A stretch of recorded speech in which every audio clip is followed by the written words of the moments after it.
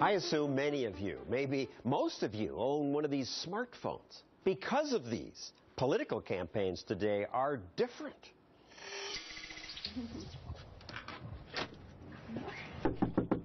We're volunteers with the Ted Cruz campaign. I was wondering if we could ask you a couple of questions. Absolutely. Door knocking's old, but the way Steve and Debbie do it now is new. They are at this door only because their phones told them the people who live here might vote for Ted Cruz. We have set out the objective at the outset of the campaign to run the most data driven, data analytic campaign in the history of politics. Obama did that both times he ran. The Obama campaign had a secret weapon that it used to defeat Mitt Romney, a highly technical, sophisticated data mining operation. Beyond anything that modern political campaigns have seen. The campaign manager for the Obama campaign said that the biggest institutional advantage they had over the Romney campaign was its use of data. Emily Lincoln studies how data influences politics. Many Republican insiders tended to be very exclusive and a little bit closed-minded when it came to using new methodologies. However, after 2012, that changed. They are a Super Bowl team that we ought to respect deeply. The Obama campaign tested everything. They said that they conducted more than 500 different experiments on their websites. They found that when they had a picture of President Obama with an inspirational quote, they raised significantly more money than when they had the same page but just a picture of Obama. Obama's data operation was led by Harper Reed. The Obama campaign's real heroes. Harper Reed, the technology mastermind behind Obama's win. I'm an incredible person. This is basically, this is a very straightforward thing here. You got credit for Obama's victory. I was just a cog. I just looked differently, so the media didn't know what to do with me. The media said the Romney campaign was high tech. On election day, the campaign will activate a sophisticated system for tracking their get out the vote efforts. But we know how that story ends. Romney had four people working in data analytics. Obama had 50. And he had something called Project Narwhal, a data program with a code name. He named it Narwhal after a whale of amazing strength. The actual truth is pretty boring. So we named it Narwhal because we wanted a code name that would be fun to say. People were like, ah, Narwhal. You know, it was like a really, it was kind of a joke, really. And once it leaked, um, nobody knew what to do because suddenly there was this mythical narwhal. And then everyone was like, what's narwhal? Meanwhile, Romney's team had Orca, a database named for another sea creature. On election day, it crashed. You literally had 35,000 volunteers whose job was to get out the vote, wandering around like zombies with no direction. Have the Republicans now caught up? If they haven't caught up, it's it's their fault. She's definitely considering Ted, which is fantastic. We have caught up, says the Cruz campaign. I went and bought a copy of David Plouffe, Obama's campaign manager's book, The Audacity to Win, gave it to our senior team. Said we are going to nakedly and shamelessly emulate this. And that's very much the plan on this campaign. He made it very clear that this was an area, the use of data and analytics, that he would not fall behind in. Chris Wilson runs Cruz's technology operation. Why do you think the Democrats were ahead of the Republicans? The Silicon Valley environment, it tends to be more liberal. Tim Cook, the CEO of Apple, the founders of Google have been aggressive about taking some of their technologies and applying them and helping the Democrats use them. You're going to be working in uh, West Des Moines 314. Now, uh, check your phone. Each volunteer's phone tells him where to go. See your neighborhood, and you're you're in here for a reason. You've caucused before as a Republican. Earlier at headquarters, Stephen explained how it works. Click on each individual house. It pops up. The names of the people living there, their, their ages. We hit their name, and it gives us a script to go by question-wise. Can Ted Cruz count on your support at the caucus in February? Haven't quite made up my mind yet. your mind. You're undecided. Okay. Depending on the voter's answer, the phone tells Stephen what to say next. Is Ted a candidate you're considering? Very much so. Great. Totally different than what we used to do. All this information data comes straight back to the campaign. Whereas in the past, if I had my little piece of paper with the thing on there, you know, I might be able to write down, yes, they're interested, but this is instantaneous. Here, the volunteer's phone told him, don't knock on this guy's door. And the man was curious why. I'm a Democrat, put that way. Okay, that's why you're not on our app. The data had determined that knocking would have been a waste of volunteers' time and the campaign's money. They know a lot about each voter. Thank you. Bye. If they subscribe to this magazine or watch this TV show, then you know they're more likely to vote for Ted? That's two factors of 50 to 70,000. They even know what you eat. For someone who buys arugula, we found that they tend to be a little bit more Democratic, whereas someone who buys iceberg lettuce tends to be more Republican. Trucks, not surprisingly, tend to be driven more by Republicans. Democratic cars, Volvos. How do you know this? This is all information that's on the open market. There are companies that amass enormous amounts of data, consumer data. And a lot of people don't know about this, but the types of data they collect are based on transactions that you and I make.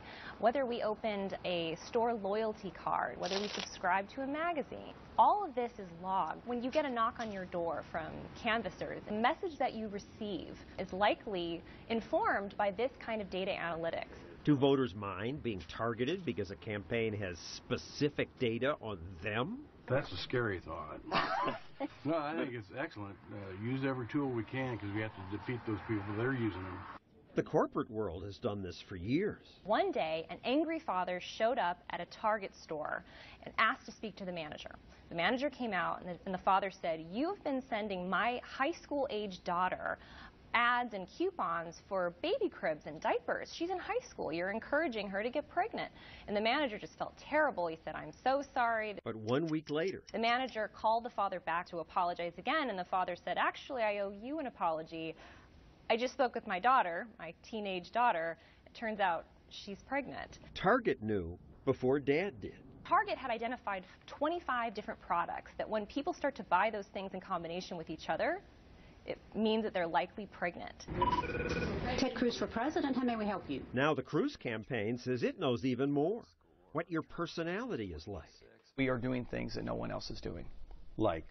Like the use of personality modeling. Personality modeling tells Chris and his team who's going to vote, how they're going to vote, and what issues they care about. Chris shows us the database that tells him what voters care they respond to different colors. They respond to different pictures. So to reach personalities the campaign determines to be more traditional, they use blue or neutral tones, red or orange if they think you're an extrovert.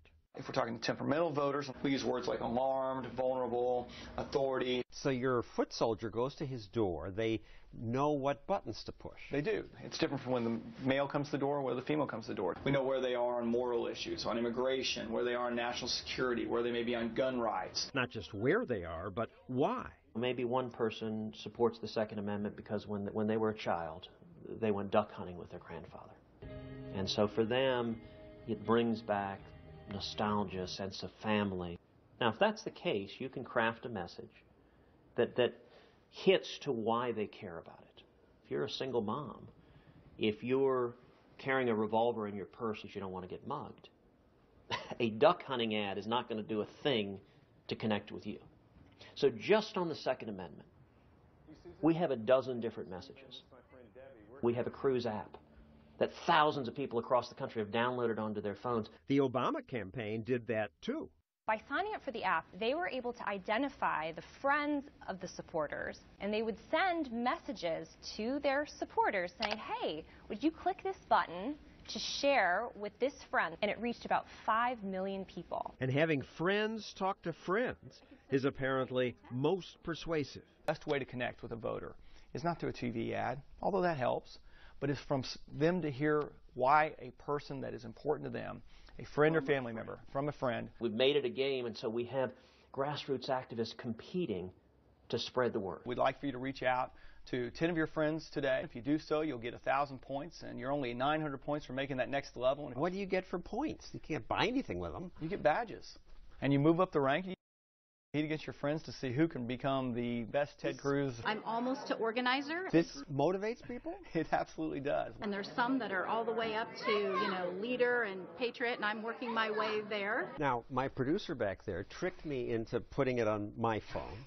so now my friends are going to have their privacy invaded by you? Absolutely not. However, in 2012, Obama supporters did have their privacy invaded. You may not necessarily know very much about the campaign and how much it knew about you. Obama's campaign is watching you. Sounds like Orwell. I don't remember any ire, but I do remember a lot of people who wanted to volunteer for the campaign. Innovation doesn't work without it being accessible. But people were very uncomfortable, and as a result, Facebook decided to shut down this feature. Sounds like Ted Cruz is doing something pretty close. The difference is this time they're telling you that they are going through your friend list and they ask for your permission and they tell you everything that they collect. Shouldn't we be nervous that our candidates are spying on us? Some people feel that it's a little manipulative, that campaigns are trying to use this data to shape behavior, try to tell you what you want to hear. This is sleazy. It just lets you pander to certain people, give them what they want. If I'm talking to you about Common Core and the only thing you care about is foreign policy, defeating ISIS, making sure the Iran treaty is thrown out on the first day in office, well, then I've done a complete disservice to you as a voter because you don't know where Ted Cruz stands. Ted Despite Cruz. running fewer commercials than other candidates, Cruz, by using data to target potential supporters and then convincing those people to go to caucuses, won a surprising victory in Iowa. That's the power of technology, is it amplifies the voice of each of us. A slick Hollywood TV ad has its limits. Using technology to communicate with, to empower the grassroots, that's the key to winning politics in the 21st century.